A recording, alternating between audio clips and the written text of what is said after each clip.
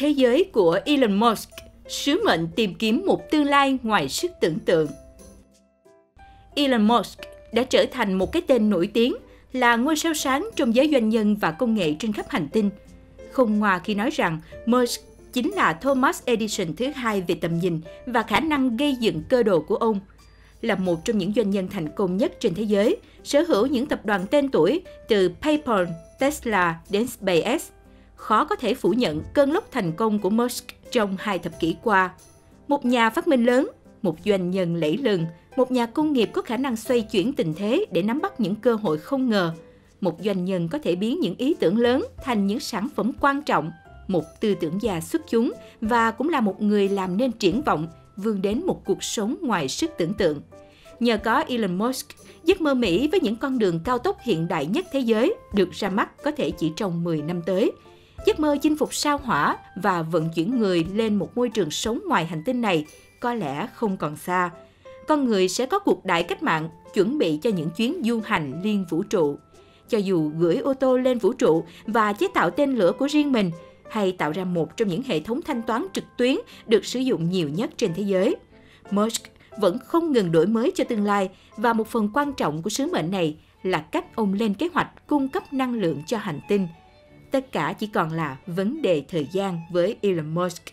Như vợ cũ của ông từng nói, nỗ lực không ngừng nghỉ để thực hiện những hoài bão lớn lao. Đó là thế giới của Elon Musk và may mắn thay, chúng ta đang được sống trong thời đại ấy. Khởi đầu vươn mình qua đợt khủng hoảng kinh hoàng tại thung lũng Silicon. Elon Musk, một người đàn ông luôn mang trong mình nỗi lo sợ về sự tấn công của máy móc với khả năng hủy diệt của nhân loại. Khác với rất nhiều nhà công nghệ khác như Larry Page, anh ấy đã cho rằng mọi thứ máy móc sẽ mãi tuân lệnh con người và chúng khó có thể chống lại được.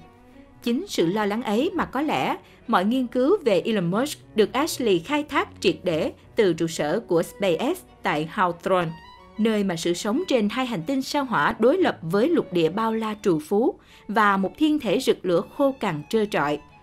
Tesla lần đầu gây chú ý bằng việc ra mắt mẫu xe Tesla Roadster, chiếc xe thể thao đầu tiên chạy hoàn toàn bằng điện. Dòng xe thứ hai của công ty là mẫu Model S, một chiếc sedan hạng sang chạy bằng năng lượng điện. Có thể nói, hai kỳ tích của Musk đã làm nên những điều phi thường trong cuộc cách mạng công nghiệp 4.0. Quả là Tesla đã biến món đồ chơi ô tô thành một đồ điện tử hoàn hảo. Theo rất nhiều tờ báo doanh nhân uy tín, CEO Elon Musk là nhân vật đặc biệt của ngành công nghiệp xe hơi hiện đại. Quả không ngoa khi nhận xét 100 năm mới có một doanh nhân xe hơi như Elon Musk. Hãng xe điện Tesla được xem là điểm mấu chốt cho tốc độ tăng trưởng tài sản của Elon Musk. Vương mình trong nhiều năm, chúng ta cần quay về thời điểm công ty Musk mới thành lập, nền móng cho sự tăng trưởng thần kỳ này. Vào những năm 2000, thung lũng Silicon không thực sự phát triển. Lịch sử hình thành của thung lũng từ lâu đã gắn với sự tham lam cùng sự hỗn loạn, gây nên bởi những kẻ bất định, mất phương hướng. Như Ashley Vance từng viết, bùng nổ và phá sản là giai điệu của nơi đây. Và những doanh nghiệp tại thời kỳ này không cần phải tạo ra một thứ gì đó có giá trị thanh khoản dễ dàng hay thứ người mua đang cần. Họ chỉ cần bám víu vào Internet và ý tưởng nảy nòi qua sự rêu rao khắp toàn thế giới. Kiếm được nhiều tiền càng tốt là đích đến duy nhất họ đang bố víu nhưng sự công phá của lòng tham chớp nhoáng đã đẩy thung lũng Silicon vào một cuộc mục dũa dần dần từ bên trong. Những trận bong bóng dot-com vỡ tan khiến rất nhiều nhà khoa học thời bấy giờ không còn giữ được cái nhìn lạc quan về khả năng thay đổi thế giới của công nghệ. Nhưng với Musk, phải đến khi tận mắt nhìn thấy những gì anh đang làm và cách anh vận hành máy móc và đồ công nghệ tại công ty, mới nhận thấy sự tuân thủ nguyên tắc của anh đã giúp chính Elon Musk chèo chống doanh nghiệp của mình đằng sau những thành công và tăng trưởng vượt bậc. Để rồi từ Zip 2 cho đến PayPal với tư cách là cổ đông lớn nhất cho đến SpaceX, Tesla hay SolarCity, Musk đã trở thành nhà đầu tư mạo hiểm khi lựa chọn thiết lập một cổ máy in tiền, tuy sự đầu tư mạo hiểm đó chỉ có một thành viên. Los Angeles và thung lũng Silicon là nơi anh đã chế tạo ra những thành phẩm siêu phức tạp và sự căn chỉnh từng bước một khi vận hành và lắp ráp đã giúp anh chiến đấu với những gã công nghệ khổng lồ từ những ngành đồ sộ như hàng không, vũ trụ xe hơi và năng lượng mặt trời. Khác với tư duy sáng tạo ra điều gì mới để bán thật nhanh, thu thật nhiều lợi của một số nhà công nghệ. Tesla đã cố gắng đổi mới phương thức sản xuất xe hơi bằng cách cung cấp tối ưu giá trị cho người dùng. Loại xe hơi hoàn toàn sử dụng điện và nâng tầm giới hạn của công nghệ. Khác với những dòng xe hơi truyền thống khi thu phí đắt đỏ từ người dùng sau khi họ đã sử dụng công năng và những liên kết công năng như xăng, điện, máy móc với những chi phí bảo dưỡng đắt đỏ, thì Musk đã tuân thủ chặt chẽ việc tạo ra sự tiện lợi và giá trị cho người dùng khi nâng cấp các trạm sạc điện mặt trời khiến chi phí bảo dưỡng xe không hề đắt đỏ như các dòng xe truyền thống. Elon Musk cầu toàn muốn cứu rỗi nhân loại khỏi những gì chúng ta đang tạo ra và bằng một bàn tay nào đó vô tình đánh đổi những thảm họa hủy diệt không ngờ. Như nhà đầu tư Tesla Gracias từng cho biết, toàn bộ cơ đồ chỉ với hai bàn tay trắng cùng trí tuệ siêu việt, một người có khả năng chịu những áp lực để làm việc chăm chỉ hơn bất cứ ai. Những gì anh ấy đã trải qua năm 2008 có thể đánh gục tất cả mọi người thiếu bản lĩnh. Nhưng với Musk, lòng kiên định trong khủng hoảng và sự bình tĩnh vượt lên nóng nảy dưới những áp lực kinh hoàng của toàn bộ nền kinh tế để giúp anh vượt qua những quyết định sai lầm. Iron Man của đời thực Elon Musk cầu toàn vô cùng trong cuộc sống. Ông luôn lập bản kê thời gian chi tiết vào mỗi tuần để tránh việc mất kiểm soát cuộc sống. Sự hợp nhất trong bối cảnh công nghệ giữa năng lực tính toán của con người và sự tiên tiến của máy móc cần có một điểm hòa trộn nhất định – mà để sự hòa hợp ấy vận hành hoàn hảo thì chỉ có Elon Musk mới làm được. Musk có thể giúp tương lai loài người hướng đến những giấc mơ xa xỉ về khoa học viễn tưởng trong tương lai, nơi mọi thứ tưởng chừng như không thể thành có thể. Để phá vỡ các tổ chức quyền lực lâu đời và con người nghe có vẻ đáng sợ nếu không muốn nói là không thể. Khi điều đó xảy ra vì lợi ích của xã hội, điều đó hiếm khi xảy ra vì luôn có một lực cản. Elon Musk đã đạt được những đột phá giúp cải tiến thế giới. Một người đàn ông trẻ tuổi được coi là những vĩ nhân của lịch sử, giống như những điều khởi đầu của anh ấy, rất khiêm tốn, theo cách không bao giờ ai có thể ngờ đến với những gì cuối cùng sẽ xuất hiện. Điều này khiến Elon Musk trở thành một nhân vật hấp dẫn. Nhìn vào tổng quan về cuộc đời của Elon Musk, chúng ta thấy những khó khăn ban đầu trong cả cuộc sống gia đình và trường học. Có lẽ chúng ta thấy một số yếu tố kết hợp với trí tuệ đặc biệt của anh ấy đã tạo nên một người đàn ông vẫn đang hoàn thành những công việc đầu tiên đáng kinh ngạc. Musk đã thể hiện một năng khiếu đáng kinh ngạc trong việc đưa bất cứ thứ gì ông đạt được lên một cấp độ hoàn toàn khác. Mặc dù không phát minh ra hệ thống thanh toán điện tử, ô tô điện, tên lửa, pin hay thậm chí là các tấm pin năng lượng mặt trời.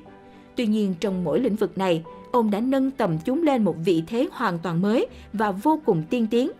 Chắc chắn rằng tâm trí của Elon Musk là phần nào đó cởi mở và cầu tiến hơn các đồng nghiệp của ông.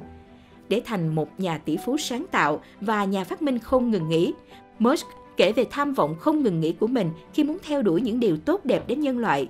Đương nhiên, chúng đem đến cả tiền tài và danh vọng cho Musk. Song mục tiêu tối thượng của Elon vẫn là biến con người thành một giống loài liên hành tinh – điều đó chính là lẽ sống và ông sẽ cống hiến cho cuộc đời, bất kể gặp bao nhiêu khó khăn vì lý tưởng đó. Người ta tin rằng không ai có thể soán ngôi các nhà sản xuất ô tô hàng đầu trên thế giới.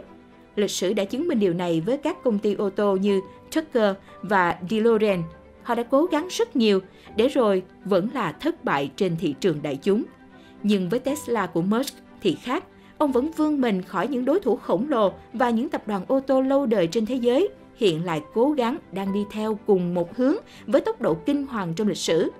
Musk SpaceX đã gây ấn tượng với NASA, đến mức họ đã hợp tác với Musk thông qua mô hình First Principle được Musk áp dụng triệt để trong sản xuất tên lửa. Bạn có thể đặt cược rằng có những phòng họp trong các công ty điện nước và công ty năng lượng khổng lồ đang đổ mồ hôi khi đề cập đến tham vọng của Elon Musk. Ông ấy giống như một trong những người đại diện cho trí tuệ nhân loại, một người rất hiếm và hiển nhiên mang lại vô cùng nhiều niềm cảm hứng cho những bộ óc vĩ đại. Các bạn đừng quên một thông tin rất quen thuộc, bài của chúng ta tuần nào cũng được lên mới tại kênh YouTube 1000 bài học danh nhân. Để xem thì cũng dễ lắm, vào YouTube gõ từ khóa 1000 bài học danh nhân, xem video đầu tiên mới nhất các bạn nhé. Và cũng đừng quên ấn đăng ký ấn vào chuông nhận thông báo để không bỏ lỡ bất kỳ kiến thức thú vị nào nha.